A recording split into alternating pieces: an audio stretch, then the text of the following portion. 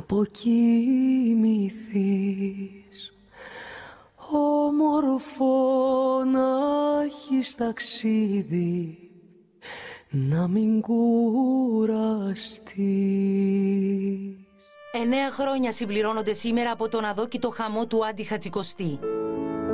Ιδανικές φωνές και αγάπη Τα φώτα σβήσαν. Μάμινε η ιδανική φωνή και αγαπημένη εκείνου που τόσο άδικα χάθηκε. Η αγάπη, είπε ο Σέξπιρ, εφραίνει όπως ο ήλιος μετά την καταιγίδα. Κάποτε μες στα όνειρά μας ομιλούνε Κάποτε μες στη σκέψη της ακούει το μυαλό και με τον ήχο των για μια στιγμή επιστρέφουν ήχοι από την πρώτη ποίηση της ζωής μας. Βάλε τα άστερα για Επιστρέφει. Σαν άρωμα ψυχής.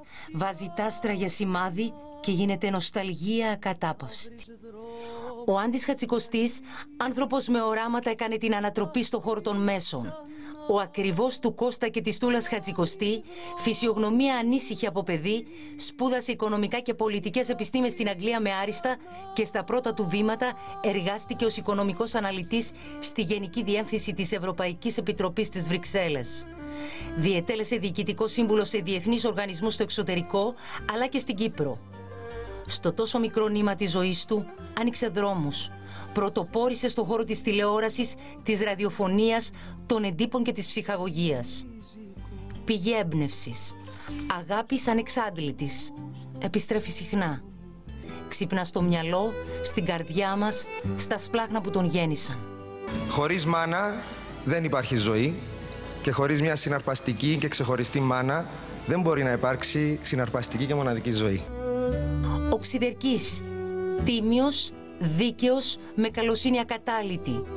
Αυτός ήταν ο Άντης Χατσικοστής. Μια λάμψη που αγαπήθηκε ακόμα και από εκείνους που δεν τον πρόλαβαν, δεν τον έζησαν. Ήλιος που εννιά χρόνια τώρα φωτίζει τους βυσμένους ήλιους μας.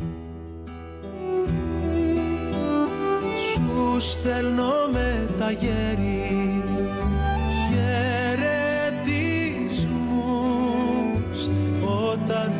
σε χαϊδεύει να με ακούς και να στους τραγουδάνε στον ουρανό. Οι βραδινές παρές